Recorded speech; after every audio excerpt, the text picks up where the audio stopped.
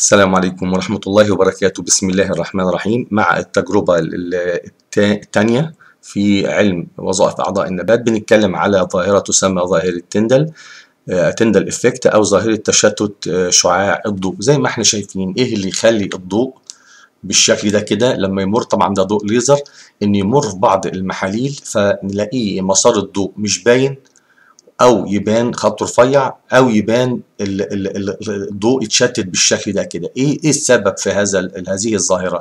زي هنا. هنا إحنا مش شايفين مسار الضوء لكن هنا مسار الضوء واضح. نفس الشيء لو بصينا من فوق بشكل رأسي هنلاقي هنا مسار الضوء لو ده ليزر أخضر ايا كان لونه بنلاقي إن هنا مش باين مسار الضوء لكن هنا باين مسار الضوء. هذه الظاهرة اللي هي تشتت الضوء. خلاص؟ إيه السبب فيها وإيه اللي بيحصل؟ السبب بكل بساطة إحنا لو مررنا ضوء إذا كان الضوء ده مشتت أصلا يبقى لازم بنحط هنا عدسة معينة عشان تجمع الضوء عشان يبقى المسار بالضوء بالاول مش مشتت لأن إحنا عايزين نشوف تشتت الضوء. وطبعا الأفضل من استخدام ده إن إحنا نستخدم ضوء ليزر اللي هو ضوء بيبقى مركز أساسا ماشي في خط مستقيم ومركز بالشكل ده ايا كان لونه. المهم وبنمرره داخل محلول ونبتدي نبص عليه سواء من الجنب أو بنبص عليه من فوق. فهنلاقي إن الضوء أو مسار الضوء بنقدر نشوفه. طبعا ده بيعتمد على إيه؟ على حجم جزيئات المحلول اللي إحنا هنمرره بيه طبيعة المحلول يعني. زي ما إحنا بنشوف كده. إذا كان المحلول اللي عندي سواء كانت مية بس يعني مش دايب فيها حاجة أو دايب شيء في المية وجزيئاته صغيرة فمش هيسبب في تشتيت الضوء. أما كلما زادت الجزيئات اللي دايبة هنبتدي نلاقي إن يحصل تشتت لشعاع الضوء ونقدر نشوفه بوضوح. هذه الظاهرة إحنا بنشوفها الحقيقة في حياتنا العملية. يعني إيه اللي يخلي مثلا في غرفة زي اللي في النص الصورة في النص دي كده غرفة إحنا قاعدين فيها ضوء الشمس نلاقي الأشعة بتاعته بالشكل ده كده باينة بالشكل ده كده. إيه اللي يخلي أشعة الشمس شايفينها وإحنا شايف ماشيين في حديقة أو في غابة أو ما شابه؟ إيه اللي يخلي النور الضوء بتاع الفانوس ده أو الضوء ده بينور مساحة كبيرة كده ما كان ممكن ينور قدامه بس أو في خط مستقيم. كل هذه الأشكال والأمثلة لتشتت الضوء بتيجي نجربها بالشكل ده كده. فبنلاقي بنحط كاس كأس به ماء ماء فقط ماء نقي. وبنمرر شعاع ليزر زي ما إحنا شايفين من هنا ما بنشوفش مسار الضوء. طب لو حصل ودوبنا سكر أو ملح في هذا الماء طبعا ده معناها محلول حقيقي جزيئاته صغيرة. فلما نمرر الليزر برضو مش هنشوف شعاع الضوء.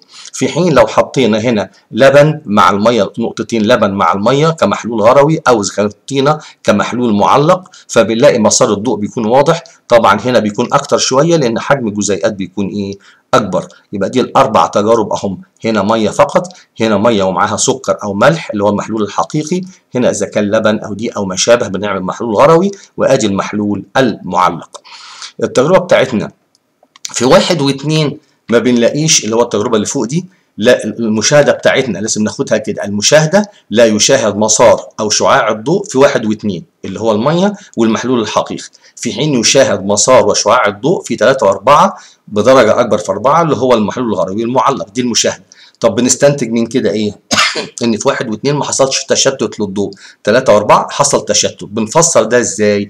بنقول إن جزيئات المية في واحد أو المحلول الحقيقي في اثنين اللي هو السكر أو الملح خلاص لم يتسبب في تشتيت شعاع الضوء جزيئات صغيرة وبالتالي استمر في مساره المستقيم.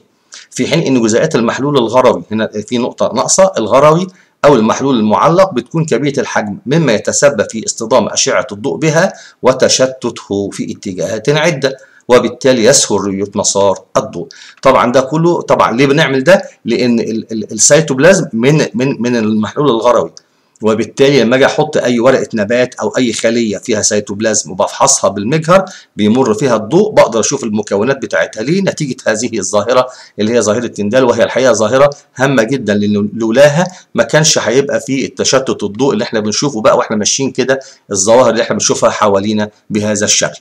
أخيرا بيكون في فيديو هنا بنحط الرابط بتاعه أسفل الشرح بتاع الفيديو. بدل ما نعرضه هنا وده فيديو الرابط بتاعه هيكون موجود أسفل الفيديو اللي عايز بيضغط عليه عشان يشوف التجربة أو يشوف الفيديو فعليا يعني التجربة وهي بتحصل قدامه.